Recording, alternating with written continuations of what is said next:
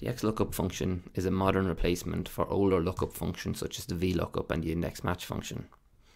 It is available in the Office 365 version of Microsoft Excel. One of the benefits that the XLOOKUP has is that it allows us to specify a value if our lookup value is not found within our lookup array.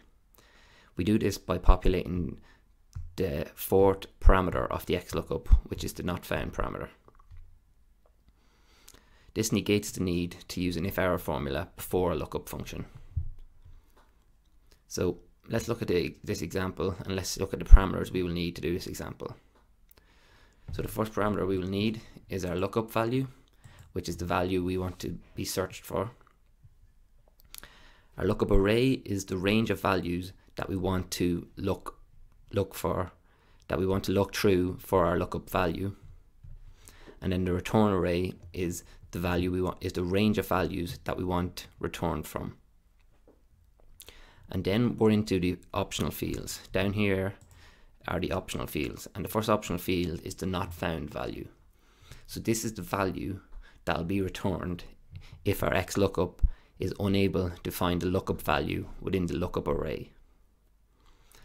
So let's look at an example here. Here we have names in column A and we have lookup data in the tables to the right here. I want the salary returned for the for the name specified in column A. But if if the name in column A isn't present in the table to the right, I want I wanted to return a text value saying unavailable. So I open up my X XLOOKUP. I look up I first thing is my lookup value, which in this case is the name. I then need to select the lookup array, which is the name in the lookup data. So that's the data here in column H. And then I need to lock that table by getting these dollar symbols around it. And then we're looking up for a return array. So what we want returned is the salary.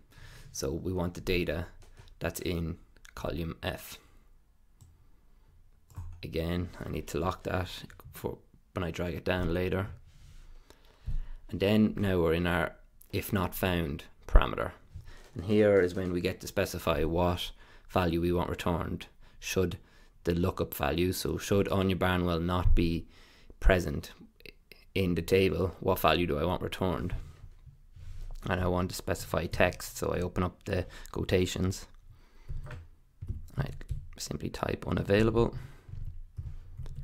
close quotations and then I'm going to close this XLOOKUP here because I'm going to let it, it I'm not going to populate the match mode or the search mode in this example because it'll automatically default to an exact match and a search from first match.